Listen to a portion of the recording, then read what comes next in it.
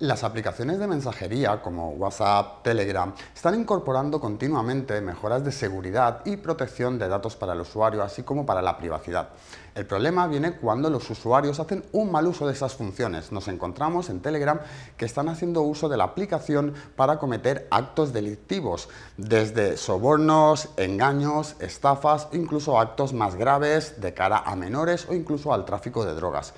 Telegram está impidiendo la colaboración con parte de las autoridades, muy a pesar de que es un sistema que no tiene activo por defecto la encriptación a doble extremo. Es decir, nosotros por defecto si enviamos cualquier mensaje, estos se guardan en los servidores de Telegram y si ellos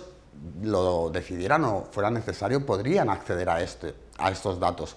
solamente se van a quedar encriptados con una seguridad de extremo a extremo si nosotros iniciamos un chat secreto. Muy a pesar de todo ello, Telegram no está ofreciendo ningún ninguna colaboración con las autoridades para poder eh, monitorizar y llevar un control de estos actos delictivos que se están cometiendo en, la aplicación. También es muy importante recordar que siempre que utilizamos un dispositivo móvil, un dispositivo móvil, además de todos los datos que estamos registrando dentro de la misma aplicación, tenemos por un lado eh, el sistema operativo de nuestro dispositivo, bien sea de Google o bien sea de Apple, que ellos también van a hacer cierta recogida de datos y se va a poder hacer una investigación sobre estos mismos datos, así como los datos que tienen propias compañías de teléfono. Por consiguiente, es importante recordar que todo lo que hacemos en Internet va a quedar guardado y registrado en la red y si es necesario va a poder ser accesible el día de mañana.